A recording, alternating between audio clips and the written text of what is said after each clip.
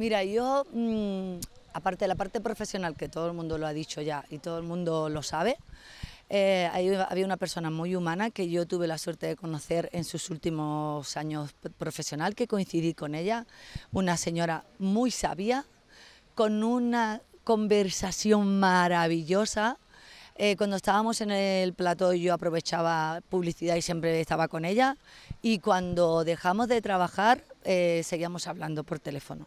Y me gustaba mucho ver su visión de la vida, su visión de la profesión, eh, era una sabia, entonces la, edad es lo que tiene. Y por eso mm, hay que seguir queriendo a nuestros seres queridos cuando cumplen años porque es una gran escuela.